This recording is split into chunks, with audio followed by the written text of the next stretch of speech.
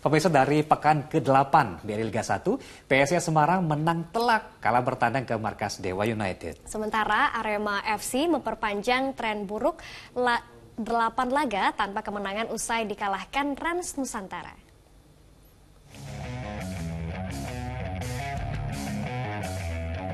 Ambisi Arema FC untuk memutus rentetan hasil buruk gagal terwujud di pekan ke-8 BRI Liga 1 saat menjamu Rans Nusantara FC pada Senin malam. Bertanding sebagai tuan rumah di Stadion Kapten Iwayan Dipta Gianyar, Bali, Singoedan justru lebih banyak diserang di awal babak pertama.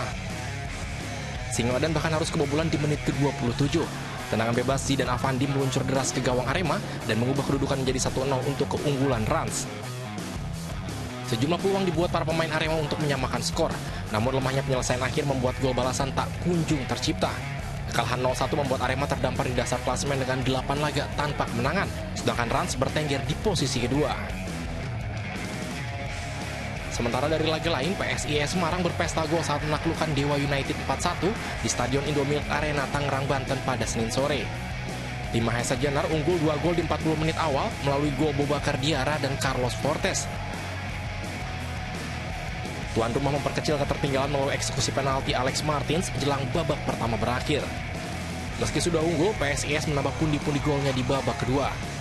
Gali Freitas memperbesar kemenangan tim tamu di menit ke-88 dan gol dari Giovanni Numberi di masa tambahan waktu menegaskan kemenangan PSIS menjadi 4-1.